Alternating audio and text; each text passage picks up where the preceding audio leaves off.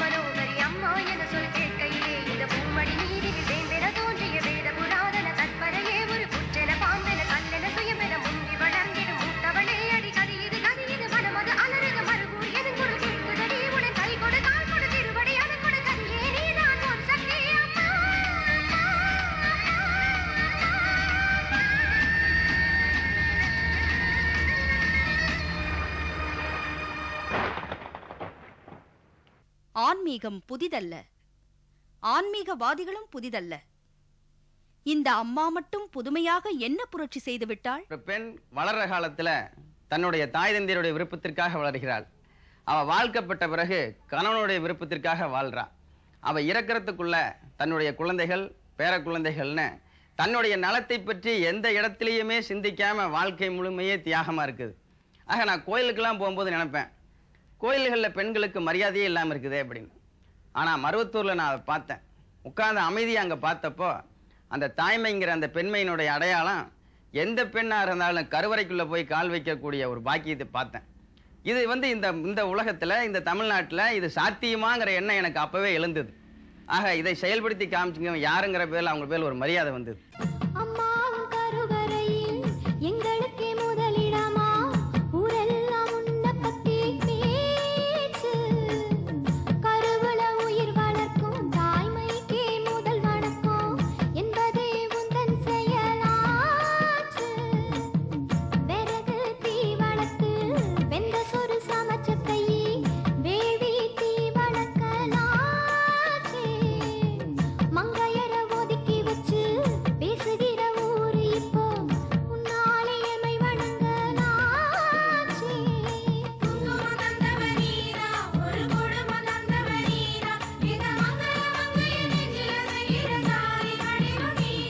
பெண்கள் கருவறைக்குச் சென்றால் மட்டும் போதுமா?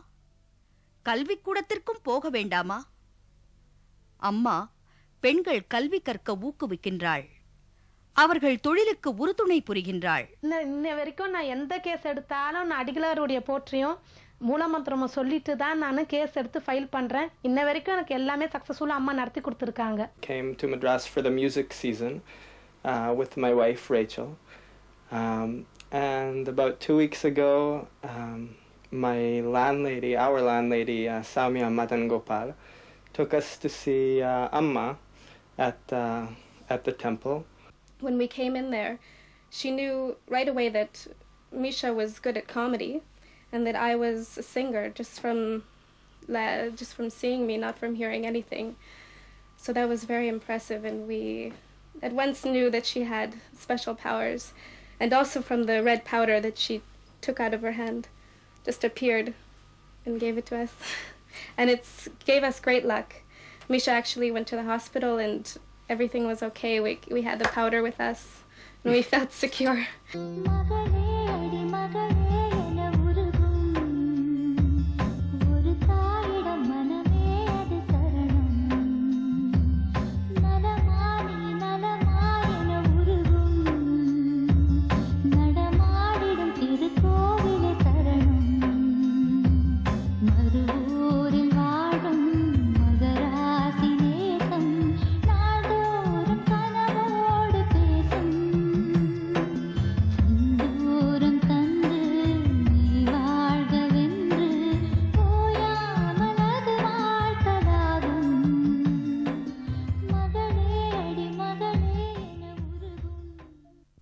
ஆன்மீகம் என்றால் என்ன?